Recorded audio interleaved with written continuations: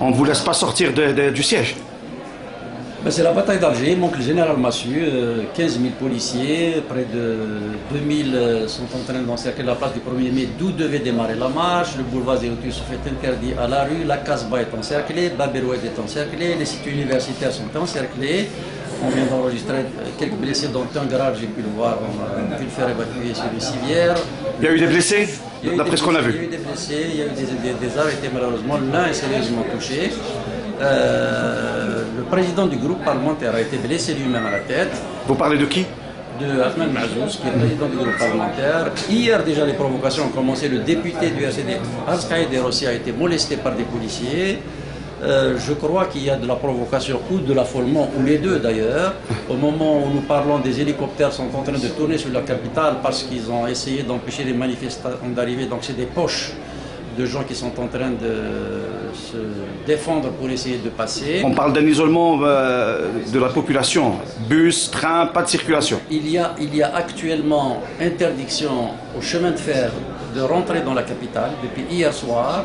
Il y a des bus qui sont directement convoyés vers les commissariats pour euh, les arrestations.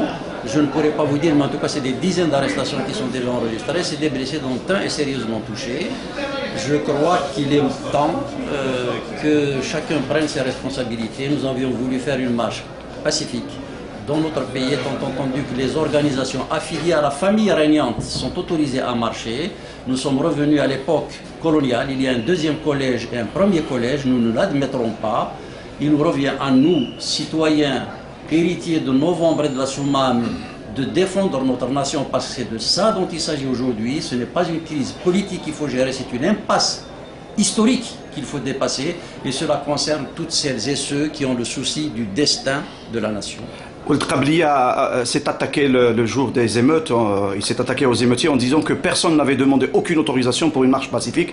Mais maintenant que des citoyens, qu'un parti politique, que vous-même, vous avez demandé une autorisation, on vous l'a interdit. Ex- Expliquez-nous ça. Je crois que c'est la contradiction du régime qui gère le pays euh, un peu comme on gérerait une boutique.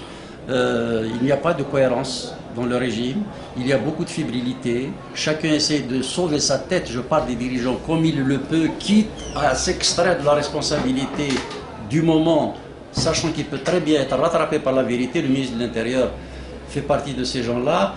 Le, le ministre d'État, M. Belkhadem, qui disait il y a une semaine, jamais ce qui s'est passé à Sidi Bouzid ne surviendra en Algérie. Moins d'une semaine après, on a eu près d'une dizaine de gens qui se sont immolés. Commentaire, finalement, l'immolation, ce n'est qu'une mode. Ce sont des propos à tenir quand on est ministre d'État. Et le même Belkhadem, Dr Saadi, avait dit que le FLN est là jusqu'à 2030.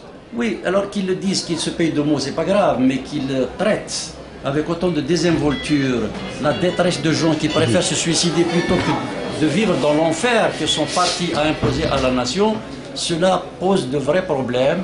Je crois que nous devons faire vite, de manière déterminée.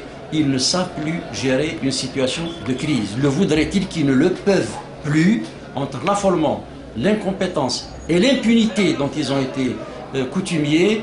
Il risque de mener le pays vers une implosion chaotique. Il appartient à tous les Algériens, partis, associations, personnalités, d'essayer de se fédérer dans les meilleurs délais pour offrir une alternative, une transition apaisée. Nous sommes disposés à parler avec toutes celles et ceux Avez-vous des contacts, Saadi restent. Oui, j'en ai beaucoup, mais je préfère pas en faire euh, état pour l'instant. Il faut absolument que toutes celles et ceux qui assument le message de novembre et de la Souma, mais qui veulent travailler dans le cadre d'un état de droit, ce sont les seules limites que nous devons nous imposer, se retrouvent au plus vite. Quel est le message aujourd'hui, maintenant, pendant cette marche que vous lancez à ce pouvoir? Parce qu'apparemment, le pouvoir ne tire aucun enseignement de ce qui se passe ni ailleurs ni en Algérie. Je crois que le pouvoir est historiquement condamné. Maintenant, il vient d'être condamné politiquement. Il, a fa- il est face à ses turpitudes et à son impasse. Ils doivent comprendre qu'ils n'ont que le choix de partir au plus vite Et comment? Et dans les meilleurs délais pour eux ou de partir par la force et en général ça se paye plus cher. Je vais être cru. On a dit que Ben Ali a détourné.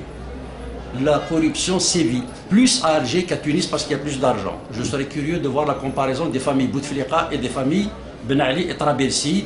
Il est temps que chacun comprenne qu'on ne peut pas indéfiniment vivre de l'impunité et de l'abus d'autorité.